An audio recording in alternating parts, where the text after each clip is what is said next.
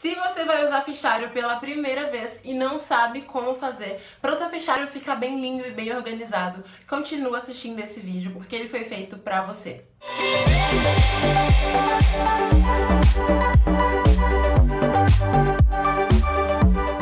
Oi, tudo bem com você? Eu espero que sim, e hoje eu vim te dar 12 dicas para você conseguir deixar o seu fichário mais lindinho, mais organizado, de um jeito bem fácil, bem prático, sem dar muito trabalho, tá? Porque é muito importante que o seu fichário esteja organizado para você conseguir ter mais foco nos seus estudos, para você não se perder nas matérias, ter um desempenho melhor nas provas e até mesmo para ter mais ânimo para estudar. Então, se você tá surtando porque não sabe como organizar um fichário, já clique em gostei e vem comigo, porque essas 12 dicas vão te ajudar demais demais. A primeira dica pode parecer um pouco boba para você, mas é uma coisa muito importante, que é você definir qual vai ser a função do seu fichário. Ou seja, para que você vai usar, em quais situações você vai usar o seu fichário. Porque assim, você não precisa usar o fichário obrigatoriamente para ir todo dia para a escola e fazer anotações. Pode ser que você queira usar só para fazer resumos para as provas em casa, ou então para fazer resumos em geral, ou para resolver exercícios. Então você tem que ver direitinho qual vai ser a função dele,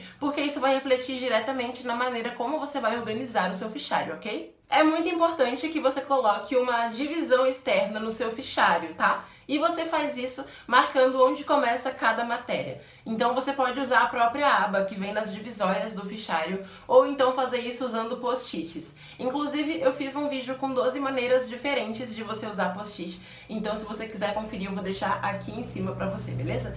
Então, assim, faz as divisórias externas, porque assim isso vai facilitar muito a sua vida. Na hora que você pega o fichário, você já sabe onde começa cada matéria. Isso evita que você perca tempo ali e também vai facilitar a organização do seu fichário e ele vai ficar muito mais bonito, tá? Então faça as divisórias externas para cada matéria. Sabe aquela parte de dentro da capa do seu fichário? Aquele é o lugar perfeito para você colocar o seu horário de aulas. Então você pode imprimir a tabelinha de horários ou então você pode escrever mesmo, cortar ali numa folhinha pequena e colocar naquela partezinha de dentro da capa, porque é um lugar muito visível, você tem acesso a ele muito facilmente. Então isso vai evitar que você se perca nas aulas, que você esqueça qual é a próxima aula e coisa assim. Então coloca o seu horário nessa capa de dentro, que isso vai facilitar muito a sua vida. Para facilitar na hora de lembrar as datas de provas e trabalhos, é bem legal que você tenha uma folha logo no começo do seu fichário, de preferência a primeira folha do fichário, como se fosse uma agendinha. Então coloca ali só as datas de provas, trabalhos e tarefas para entregar naquele bimestre ou naquele semestre.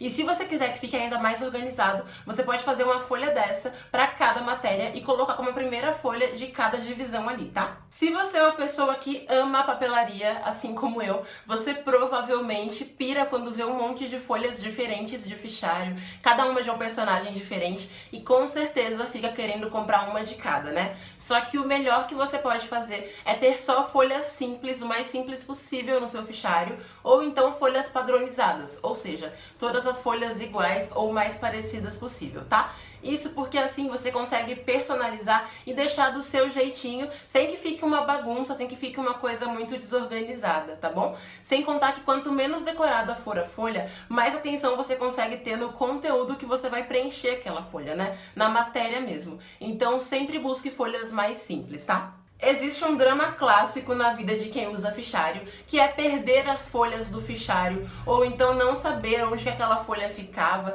e fica aquela bagunça, aquele tumulto. Mas tem uma maneira muito fácil de conseguir resolver isso, que é você colocar uma numeraçãozinha nas suas folhas. Claro que no primeiro momento isso vai parecer um pouco difícil, mas acredite, vale muito a pena fazer isso, dá muito certo e ajuda demais. Porque assim, caso você perca alguma folha, caso você empreste, ou então se elas saírem voando por aí, depois você vai saber exatamente onde colocar cada folha, para onde cada uma tem que voltar. Então faça uma numeraçãozinha no rodapé da página, ou na lateral, ou no topo, onde você achar que fica melhor, para que você sempre lembre onde cada página vai ficar no seu fichário, ok? Uma forma de você evitar que as suas folhas fiquem rasgadas, amassadas e que a sua letra fique uma derrota é você escrever nas folhas soltas e depois colocar a folha no fichário. Isso funciona muito, tá? Então, quando você for escrever, tira o bloco de folhas, escreve ali, daí depois você tira a folha que você já escreveu, abre o aro e coloca no fichário. E pronto. Fica tudo lindo. Então, isso vai evitar que a folha fique repuxando e que fique rasgando, tá bom? É uma coisa muito simples e que dá muito resultado.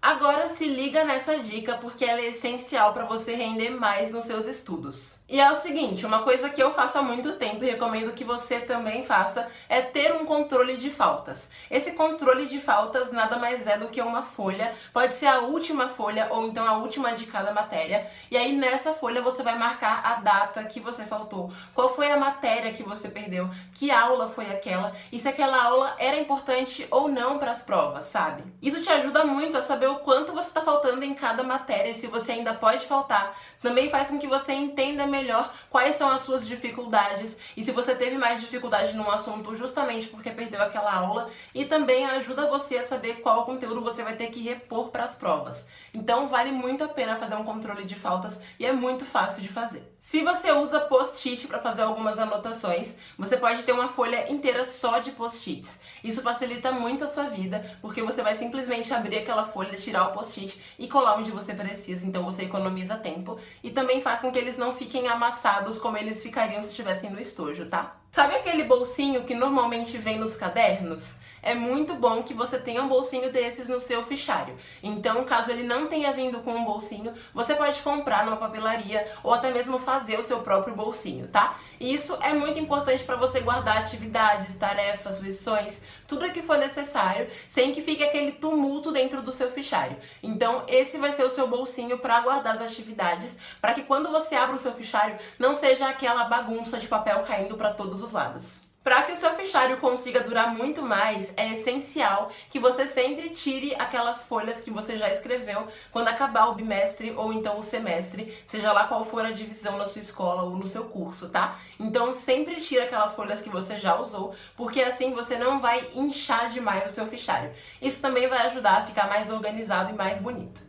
E por último, mas não menos importante, tenha uma pasta para você colocar aquelas folhas que você já escreveu que vai tirar no final do semestre, né? Afinal de contas, você não vai jogar tudo fora, porque vai que você precise novamente em alguma outra parte do ano ou até mesmo no ano seguinte. Então, guarda tudo numa pasta, porque assim você vai desatolar o seu fichário, mas vai continuar tendo as suas matérias. Bom, então essas foram as dicas para você organizar melhor o seu fichário, para que ele fique bem mais bonito. Se você gostou, não esquece de clicar em gostei e compartilha esse vídeo com alguém que também usa fichário, tá? E caso você queira que eu faça uma versão para quem usa caderno, comenta aqui embaixo que eu posso fazer. Então é isso, um big beijo, até o próximo vídeo e tchau!